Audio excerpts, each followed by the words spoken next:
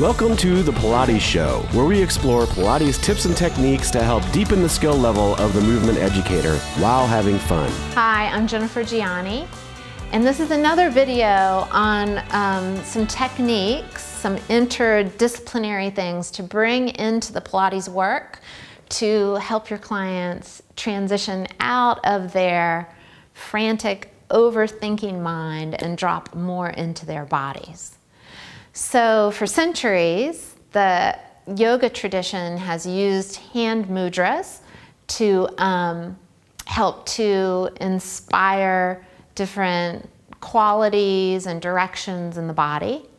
Um, and also, um, acupressure, Chinese medicine, um, has also given us much guidance in how to use the hands and the fingers, different positionings, different holds to help us, again, to inspire um, more easiness in our system through those meridians. So the thumb is willpower, it's our ego.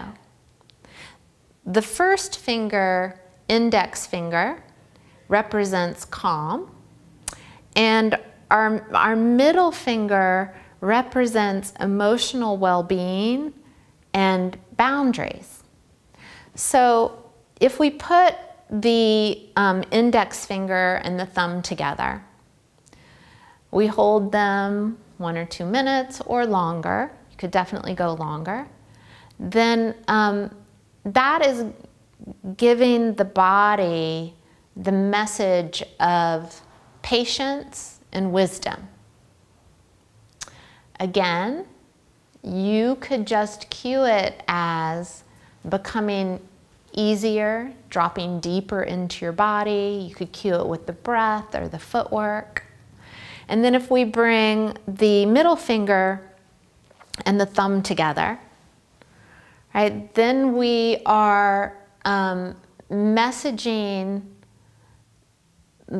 more emotional well being in ourselves, protecting ourselves, having healthy boundaries, um, and becoming more forgiving to ourselves.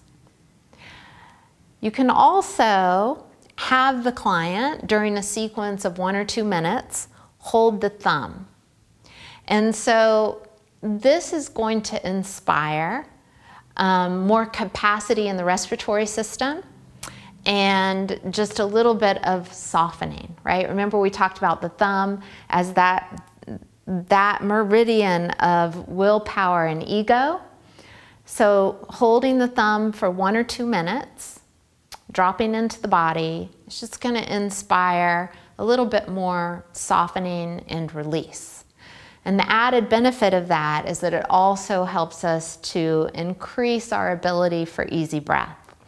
Um, if we want to link it into the scientific literature, the fascial line of the, the thumb side of our arm is intimately connected with that fascia around our lungs and our heart. So it's like the, the yogic and the scientific community connect through that.